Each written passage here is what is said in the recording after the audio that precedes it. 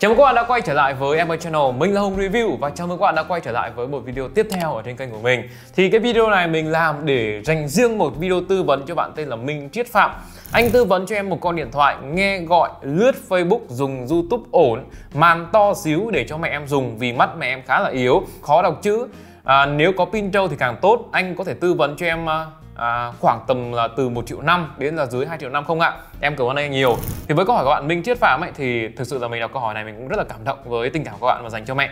Nếu như mà tầm giá từ 1 triệu năm đến 2 triệu năm thì à, mình sẽ mang đến cho các bạn ba cái lựa chọn điện thoại ngon nhất trong tầm giá từ 1,5 triệu cho đến là 3 triệu đồng. Đó là những sản phẩm nào thì ok Ngay bây giờ các bạn cùng mình đi đến với nội dung chính trong video ngày hôm nay nhé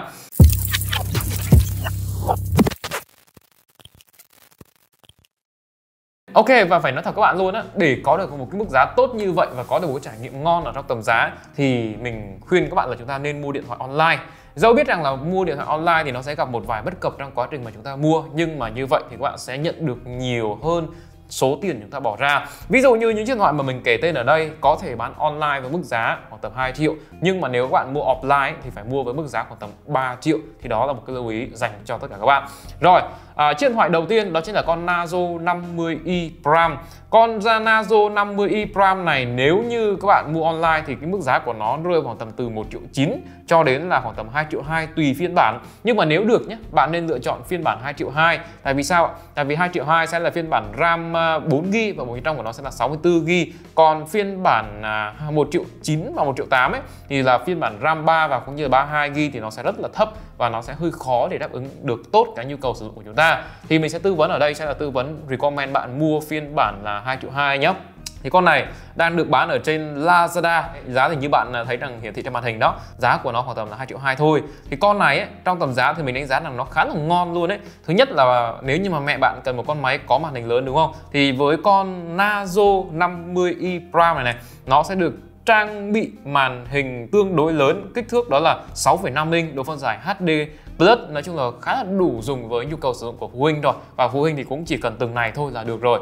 Cũng không nhất thiết cần phải tần số quét màn hình cao, cũng không nhất thiết cần phải một kích thước quá lớn làm cái gì, như vậy thì to nặng mới khó dùng. Đối với bản thân mình nhé mẹ mình hoặc là bố mình ở nhà dùng thì cũng chỉ dùng điện thoại màn hình vừa vừa tầm đó. Chứ còn nếu như mà to quá, nhét túi cũng cấn này, mà mang đi mang lại nó cũng lại bất tiện. Nên là với chiếc điện thoại này thì mình thấy là nó đã phù hợp với đại đa số nhu cầu sử dụng của chúng ta rồi.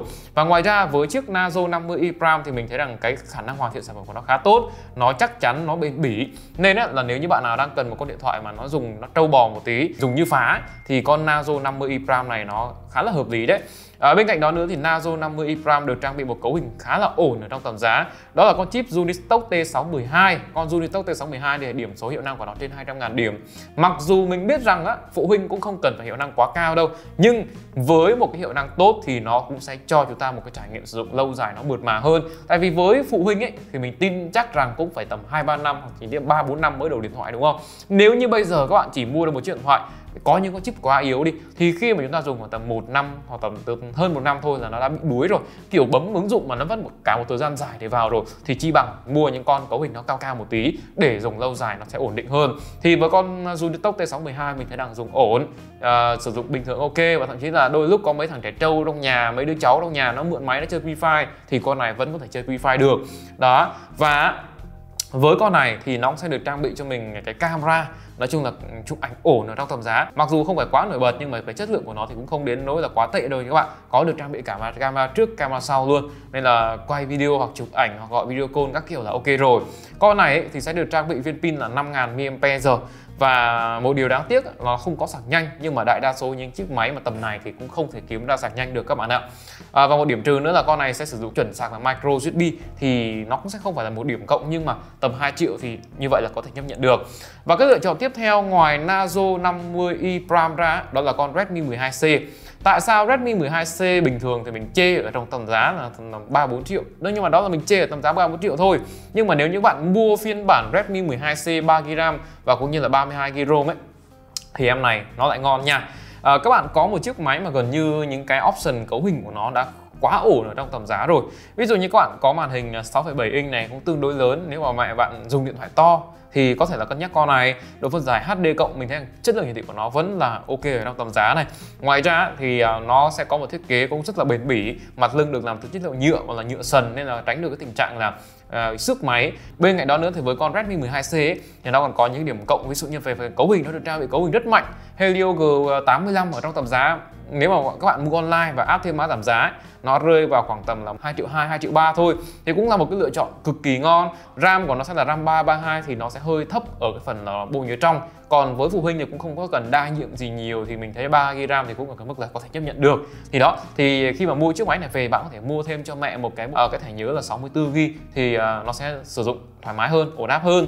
À, con Helio G85 này thì đương nhiên nó sẽ mạnh hơn so với con Tốc T612 và nó cũng sẽ mạnh hơn một chút so với mấy con như là 606 hoặc 610 chẳng hạn. Nên là thực sự với à, bạn nào mà cần chúng ta cần dùng lâu dài thì con này nó sẽ đáp ứng rất là ổn.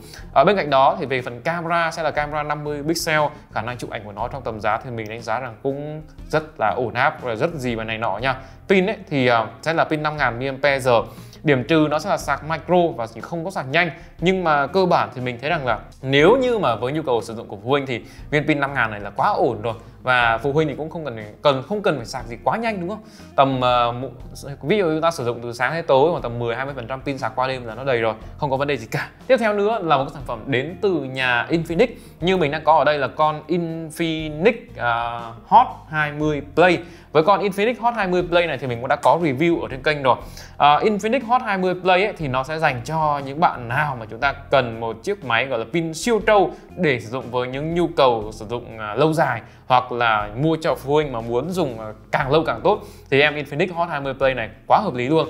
Thứ nhất là con này có màn hình gần như to nhất tầm giá rồi. Màn hình của nó sẽ là 6,82 inch độ phân giải của nó sẽ là HD cộng và với con này thì nó sẽ có tần số quét màn hình đó chính là uh, 90 Hz nên trong tầm giá thì mình đánh giá là khá là ổn và con này sử dụng màn hình đục lỗ nữa nên là cái kiểu thiết kế của nó thì thực sự mình khá là ưng ở trong tầm giá nha. À, ngoài ra ngoài ra về thiết kế thì em Infinix Hot 20 Play thì mình thấy rằng là thiết kế của nó cũng rất là trendy nó rất là tươi mới nó rất là đẹp đó. À, kiểu cái phần mặt lưng phía sau cũng dạng vân này ít bám mồ hôi vân tay này rồi nó không có cảm biến vân tay ở phần mặt sau nữa. Camera thì mình thấy rằng là cũng ở cái mức là ổn áp chấp nhận được. À, mặc dù pin rất trâu nha pin con này là pin 6000 mAh nha. Nhưng ấy, nó cũng không hề bị quá nặng nó cũng không hề bị quá to và quá thô. Nếu như mà sử dụng với nhu cầu phụ huynh thì cũng được rồi.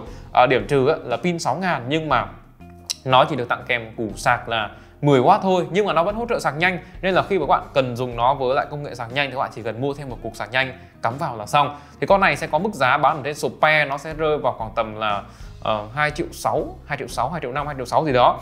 Thì uh, ngoài ra yếu tố pin ngon ra thì em này còn có được cái như là về cái phần uh, hiệu năng ấy thì nó được trang bị con chip Helio G37 nói chung không phải quá mạnh nhưng mà vẫn có thể đáp ứng được nhu cầu sử dụng của phụ huynh khoảng tầm 2 năm. RAM của nó sẽ là RAM 4 và bộ nhớ trong 64 thì mình thấy cái option của nó trong tầm giá thì cũng tương đối là dư giả tương đối là ổn áp rồi. Ngoài ra còn có phiên bản RAM 4 128 nữa thì cũng còn là quá thoải mái để cho phụ huynh dùng.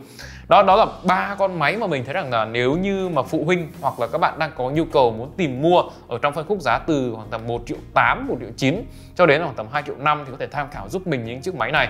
Và đặc trưng của những con máy như thế này, nếu mà muốn ngon bổ rẻ là các bạn cần phải mua online, chứ còn mua offline thì không có đâu các bạn. Mua offline thì những cái option của nó trong tầm giá thì phải nói rằng là rất là kém. Ok, các bạn nghĩ sao về à, ba chiếc máy này? Đừng quên để lại cho mình ý kiến nhận xét ở ngay phần bình luận của video này nhé. Và đường link mua hàng thì mình cũng sẽ để ngay phần mô tả và bình luận luôn. Còn bây giờ xin chào và hẹn gặp lại các bạn ở trong những video lần sau. Bye bye anh em.